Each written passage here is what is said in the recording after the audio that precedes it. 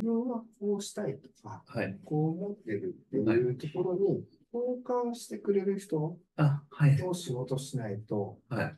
ダメだなと思って、なるほど。そこからですかね、はい仕事っていうものがはい。お金を稼ぐものではなくて、はい。はい。やっぱり自分の人生のはい一部の答え合わせみたいなのに、なっていく。はい自分がどういう自分になりたいのかっていうこはい。との一つの大きなはい。あの日々のはいルーティンというか行為だなっていうふうにはい思ってきて、はい。またそこから自分と向き合って、自分はあどういう自分になりたいのかうといんうところ、なるほど。それとその自分と向き合うことではい。人とどう向き合うか。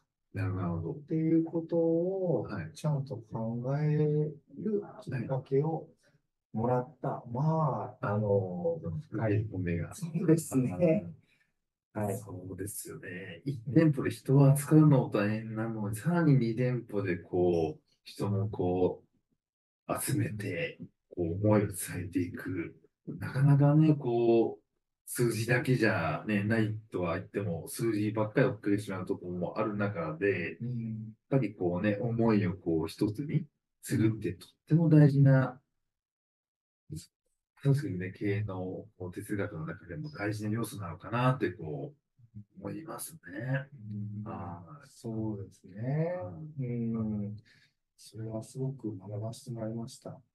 うんじゃあまあ、こう、まあ、ね、辞めていってしまった方もいらっしゃったとは思うんですけども、はいそこはまあ逆に言えば皆さんにとって大きなこうステップアップになった、うんまあ、きっかけの方だとうんいう、まあ、いい意味でこう、うんえーいい教訓を残していただいた方なんでしょうね。そうですね、そうですね。あはい。そうですか、そうですか。あじゃあ、今、そのもう一店舗の方は、じゃあ、その辺の、まあ、思いを共有されて、うんうんこう、今、順調に来ていらっしゃるうんっていう形でしょうか。そうですね。今は、あの、もう一店舗の方は、はい。うちの奥さんが、はい、あ見てくれてまして、なるほど、なるほど、なるほど。なるほど、なるほど。なるほど。はいそうなんですよ。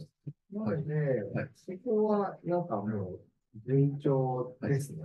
あ、順調なんですね。なるほど。あなるほど。の実は、うちの奥さんっていうのは、はい僕とその師匠の直樹さんとかはいやってる時のお客さんで、はい。で、なるほど。はい、その当時のお客さんで、で、まあ、直樹さんが亡くなってから、えっとそうですね、そこからも助けてくれるようになって、はい。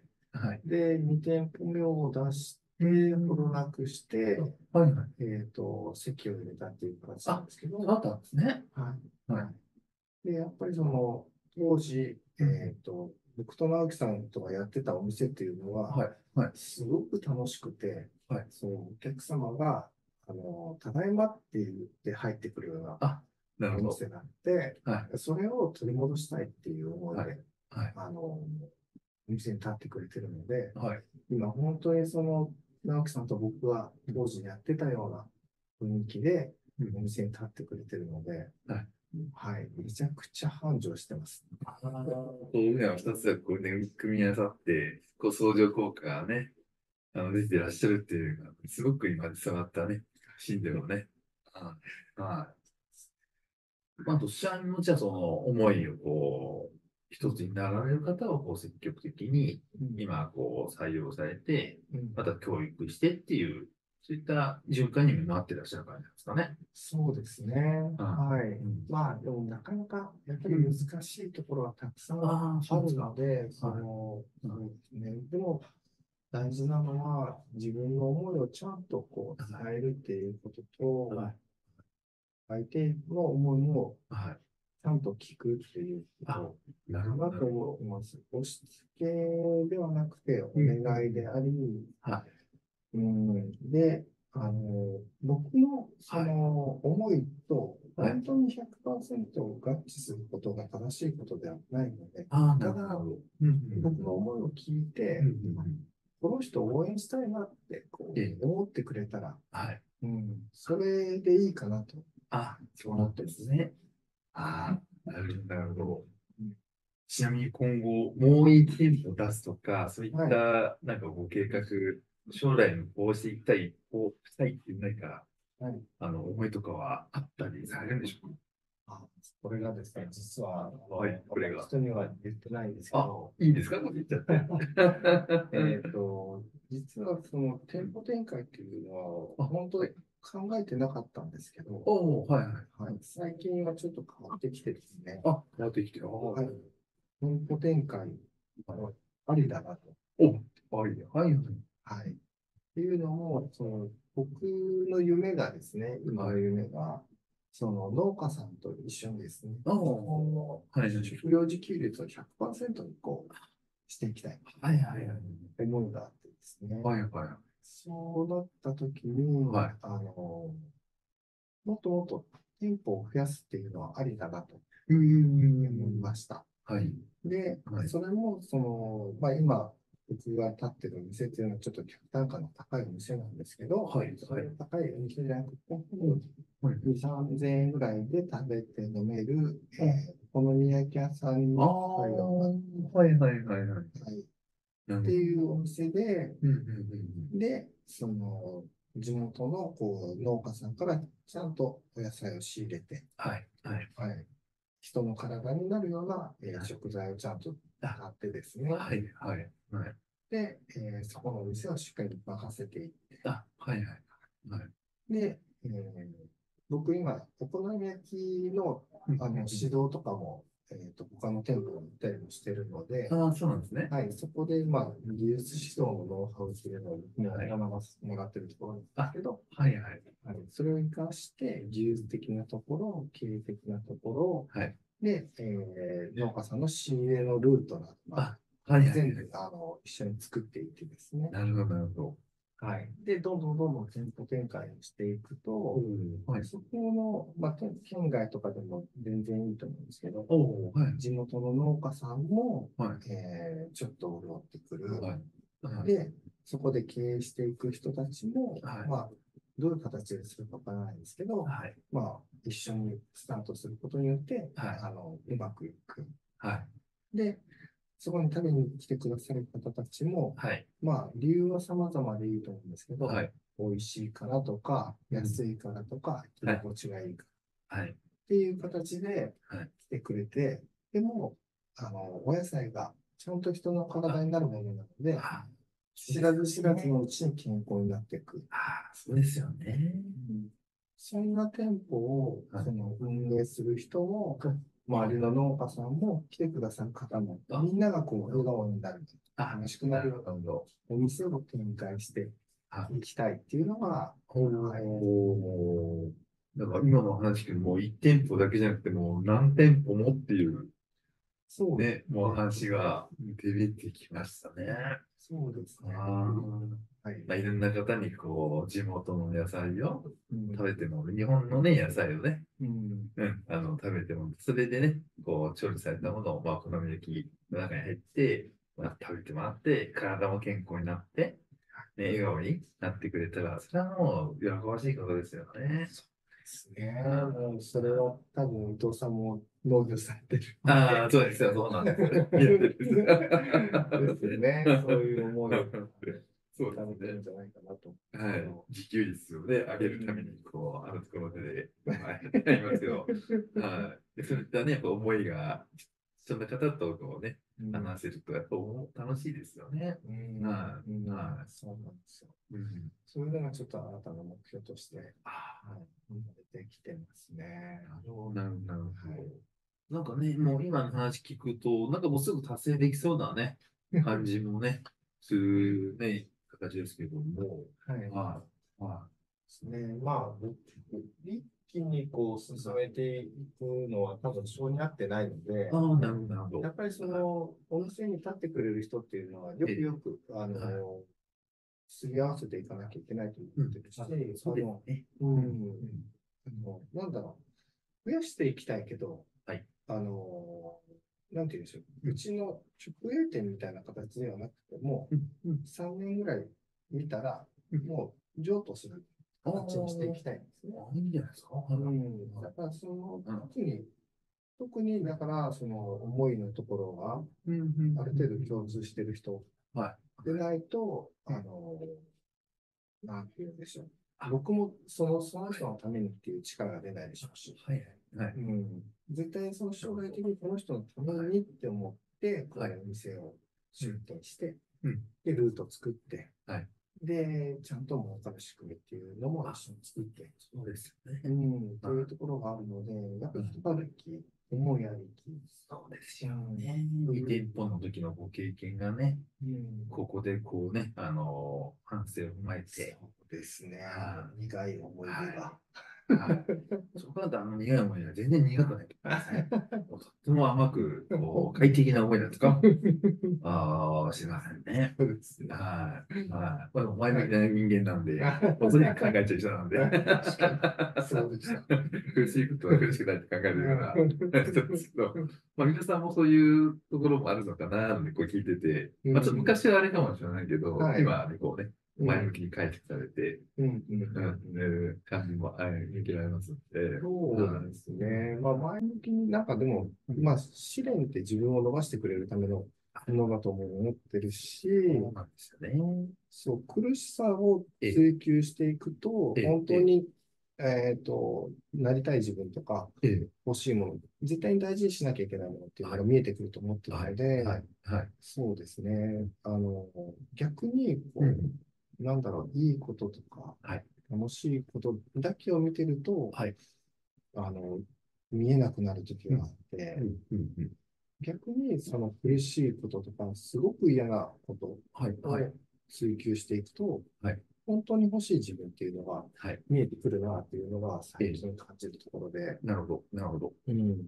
とはいえ、まあまあ、結構あれなんですよ。うん引っ込みやすい人間なんですけど、そうん、まあ、それを、あのーなんだろうな、無理してはい、こう、隠そうあとか。取り繕ろうとかしないのが、まあ、僕の良さかなと勝手に思ってます。ああ、なるほど。ちゃんと自分のこともうん分析ができて。そうですね。はいはい。あのーそうですね。感なんよく言ってしまえば、感度の高い人間なので、そう感じ取ってしまったときに、はい。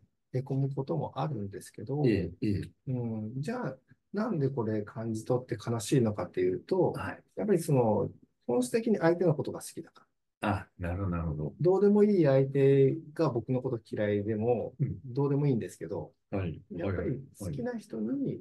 ああ、ちょっと今嫌われてるかもと思うとうん、やっぱり傷つくので、なるほど。ってことは、ああ、僕はうん好きなんだなっていうふうにも気づきもありますし。ああ、そういうことですよね。はいそういったね、こう仲間とか社員とか、まあお客さんとか、うんあと農家の方とか、はい。ただその会社の経営されてる方ですけど、社員以外の、その取引先の方にも、そういった愛情を振りまかれてる方なのかなっていうふうに今、すごく感じましたね。ありがとうございます。農家の方とか提携しないといけないと思うんですけど、はい。うん。そうですねは。愛情を振りまいてるっていう意識はないんええですけども、ええただ、なんだろう、相手の立場に立って、やっぱりその、はい自分を幸せにするためには絶対にこう相手必要だと思うんですよはい。ね。、はい、はだから、それつながってると思うんで、い、はい、この人好きだなと思ったら、い。やっぱりその人いの価値っていうのは、はい。考えとか大事にしてるものっていうのは、はい。こう自分の中にも入ってくるはい。イメージですかね。なので、うん、相手にしてるというよりかは、はい。まあ自分にしてるに近いかな、はうん、という感覚で、はい、させてもらってます。素晴らしいですね。なんかね、ちょっと気持ち悪いかもしれない。いい、この番組の題名のもう典型的な実践をされているような方のような、ギブ、ギブ、ギブっていう、こう、まあもちろんやっぱ本業でやっぱね、まあ、あるかもしれませんけども、そこよりもまずね、相手をこうね、こう、喜ばせるってことはとても大事な一面なのかなっていうふうにね、感じた次第ではね、あるんですけども、あそうですか、そうですか。そうですね。まあでもそういうところは、農家さんから、生産者の方から教わったような気もします。ああ、なるほど、なるほど。あうん結構じゃあ、優秀な生産者の方と出会えたんですね。そうですね。私は優秀じゃないです。そんなことないと思います まあうんなんか心に刺さる言葉とか考え方たくさんあったなと思うんですよね。あれですか、農家の方って実はうんあんまり話上手い人いないんですよ、正直。ああ単語なんですよ。はいはい。それが刺さった感じですか？一つキーワードは。どそううですか？ですかね。うん、そうかもしれないです。まあ僕、あの、意外と想像力豊かなので、自分で あ広げてなる。部分はあるかもしれないですけあど、あ、はい。その、あの、一番僕が印象に残ってるのは、はいその農業はいうまくいかないんだよって。ああ、はい。うんでも、それがいいって。うんうんうん。うまくいかないをはい受け入れざるを得ないことがいいんだって。あだから楽しいってあ、なるほど。言われたときに、はい。はい。最初に何言ってんだと思ったんですけど、あ なるほど、なるほど。なるほど。なるほど。うんでも考えていったら、うんうんそのう、うまくいかないことを楽しいって思えたときに、はい。じゃあ、自分が生きていく中で楽しくないことって何だって思ったら、はい。ほぼほぼなくなるんですよね。うん、そうですよね。うん、すべてのことが楽しいって思えるようになる。えー、これってすごい考えだなと思って。ですよね。同じものを作るのって本当にね、できないんですよ。うん戦場から古文書あるんですけど、あの通りやってもその通りにならないんですよ、農家って。うんいろんなもの作物って。多分その感覚なんでしょうね。うんそんな気が、あの、生産者としてもちょっとちょっと分かったような。あと天候でね、やられちゃったりとかうね。んうん同じ天候の年って絶対ないので、そこは本当に、まあ、わかりますね。私も楽しいですね。うんはいやっぱりそうなんですね。はい。あ、こんな面白い形ができたんだ。来年できるかというとできないですけど。うん それは面白いですよね。うんはそうそう、そういうことを言われてて、なるほど、なるほど。うん、そう、それはすごい考えだなと思っえて、え、ええ、うん、そこから僕のその70歳の時になりたい自分というのはあ、るがままを受け入れる。男になると。すべて笑って受け入れるあことができるようになる。そういう自分になるためには、じゃあ今この出来事をどう受け止めるのか。なるほうん、っていう一つの大きな目標を作ってくれた言葉でもあります。ど。まさしく店の名前の通りでしょうね。もうドンと来いっていう。まさしく何でも受け入れる。うん、まあ農家は受け入れるはないので、天候とか。まあちょっと今まとめちゃった感じはするんですけども、はい。今日どちらかというとね、皆さんのこの経営に返す思いとか、うん。飲食業界撤廃の経営に対する思いとか、今後の思いとかを中心に話していただいたんですけども、はい。あの、肝心なこう、売りの話は全然聞いてなくてですね、ちょっとあの、皆さん多分パート3、2、3もあるとは思うんですけど、はい、はい。あのーまあ、最後にですね、はい。あの、このお店の一番の売りのメニューをちょっと熱く語ってもらえると、そうですはい、有ね。利かなと思ってます。いろいろあるんですけど、は今、あの、じゃあお店として、組織として、はい。えー、押していきたい、知ってほしいっていうところはい。はですね、はい。お肉ですね。肉。ああ、肉そうなんですよ。私、あの、はい三熊野牛でしたっけ？はい。あれ、あの、2月3日ですかね。はい。あの、恵方巻きはい、でいつも、あの、はいちょうどあの、買わせていただいたんですけど、その他にもあったりするんですか？肉？えーっとですね、はい。あ、やっぱり今、はい。一番力を入れさせてもらっているのは三熊野牛。あ。あとは広島で言うと、まあ、はい比嘉牛とか有名ではあるんですけど、実はそうではなくて、あの、すごくこう家族経営で小さくされてる三浦牛という、三浦牛？はい、これはもう、あの。なきないその名前ですね。三浦さんという方がね、あ、皆さん。あの、はい。育てられてる牛で、うんあの、なんていうの、普通は、はいえーっとですね、子牛って売られるんですよね。あ種牛として。あ、ドナドナですね。うん。はい 今流れます。流れてみましょうか。入れてきましたねそう、そこをせずに、はいもう親子は一緒に愛情を持って、はいあのずっと育てるべきだと、話すべきじゃないっていう考えのもと、はい。で、えっ、と、牧草、草を食べさせて、あはい。はい、し自然放牧にかなり近い形ではい育てられてる。の牛、はい。はい、うん今はこの、まあ、みえっ、と、三熊野牛をメインとして、はい。えっ、と、三浦牛、まあ、かなり三浦牛の方が頭数が少ないので、そうなんですか。いやー、そうですね。産業経営もあるし、なるほど、なるほど。相当こう、広島でも知ってる方はごくごく少数はいはいはいなのはい。で、うんうんうん。はい。この方、うん、の牛が入ってきたときは、えー使わせてもらうっていう形をとってるんですけども、なるほど、なるほど。はい。で、まあ、その、さっきの肉まの牛の方に戻りますと、このはいはい。西村さんっていう方が、はいはい。えっと、三重県のはい。熊野市で育てられてるんですはいけど、。熊野市の。はい。はい。この方にも僕会いに行かせてもらったときに、はいはい。あの、牛が幸せだったかどうかっていうのもはい。味に関わると思うんですってえいう、え。そんな関わり方をされる方ではいはいはい。はい。で、その、この方は、あの、お父さんを若くして亡くされてるんですはいけど、はいはい。その父と一緒にこう、牛を見に、あ牛の仕入れとか、ね。ん、若い時にしてた時に、父はいは何も教えてくれなかったんですっていうことですね。なるほど。はい。で、それは、その当時はなんで教えてくれないんだっていうふうに。思ってたけども、はい今自分がこの立場になって、はい。あの、よくわかります。はい牛この牛を見て何がいいのか、はいで、どこが良くないのかっていうのは、はい。言葉にできないんです。あ、なるほど、うん、もうとにかく触れて、感じて触れて感じて。見るしかないというあ、あ。